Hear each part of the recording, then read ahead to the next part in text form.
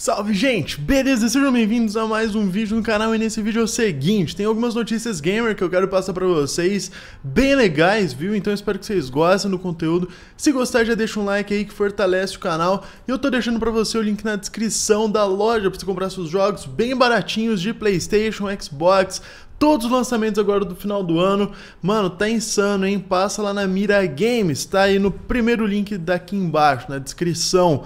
Preparem as corujas. Hogwarts Legacy pode ser detalhado em breve. Esse daqui é um dos jogos que eu mais estou aguardando e não é de hoje, viu? O jogo já foi anunciado há algum tempo atrás já.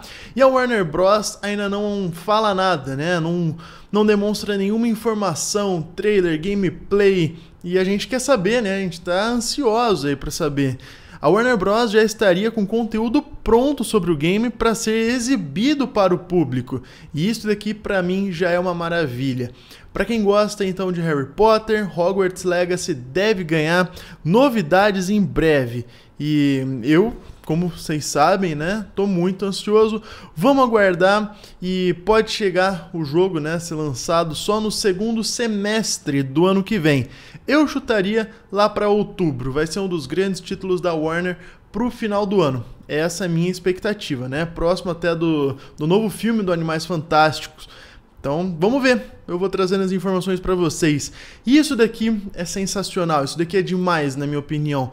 Prime Gaming oferece nada mais nada menos do que oito jogos de graça e muitas recompensas nesse mês de dezembro. Assinantes do serviço da Amazon também podem resgatar loots em diversos jogos populares. Cara, essa assinatura da Amazon para mim é demais.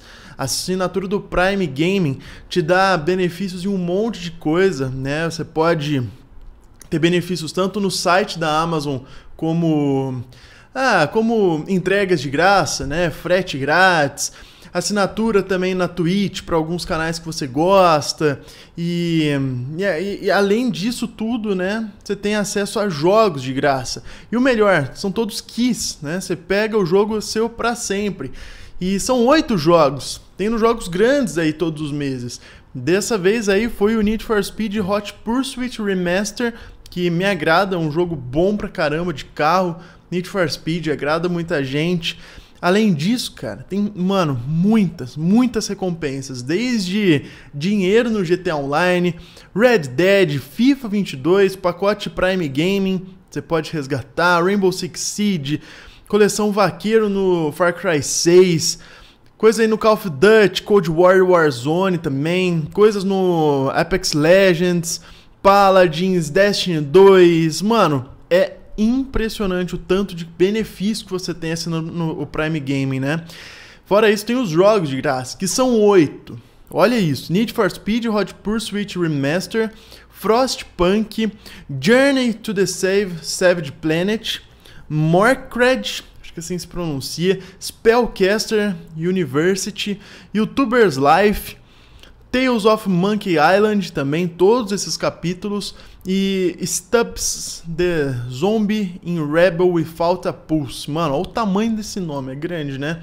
Mas, enfim, são oito jogos, não deixa de ser. Fora todos que ela já, que ela já deu né, na, na assinatura. Então, realmente, é bem legal, cara. A Amazon tá mandando muito bem nessa assinatura Prime, hein? E, gente, eu vou ficando por aqui. Obrigado a todo mundo que assistiu. Como eu falei, daqui a pouco tem mais vídeo. Então é isso e valeu!